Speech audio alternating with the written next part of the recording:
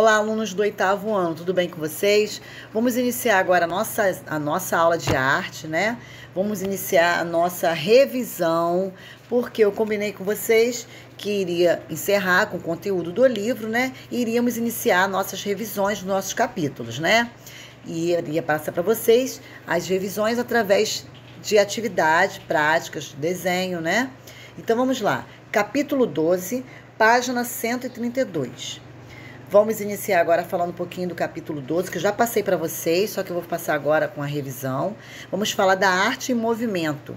Aqui temos essa arte, tá? Que é realizada, é feita através desse movimento com objetos, né? As artes visuais são construídas com base em expressões principalmente estáticas. As pinturas, as esculturas, as construções arquitetônicas e etc.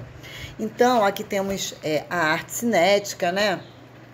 É, a arte que realiza movimentos e temos aqui imagens que na, nessa imagem de abertura representam florares, né? Genérica, uma obra em movimento. Só que a atividade que eu vou passar para vocês é será como essa atividade?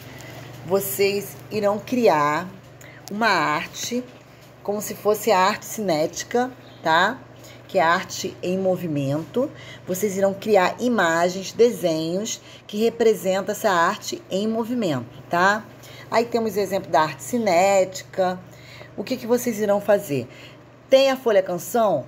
Vai desenhar na folha canção. Não tem a folha canção que já acabou, né? Já estamos no finalzinho tem, não tem caderno de desenho, não tem folha de ofício, pega o caderno de matéria e vai realizar, vai realizar essa atividade no caderno de matéria, tá? Pegando o caderno de arte, realizar essa atividade, vocês irão fazer, criar imagens que representam a arte em movimento, tá? Então, estou colocando aqui no capítulo 12, que já sabe que essa atividade é do capítulo 12, a revisão é do capítulo 12 da arte em movimento. Depois que desenhou, depois que criou as imagens, vai colorir com o material que você tem na casa, na sua casa aí, tá? Lápis de cor, giz de cera, canetinha ou outros materiais que você tenha para colorir, tá?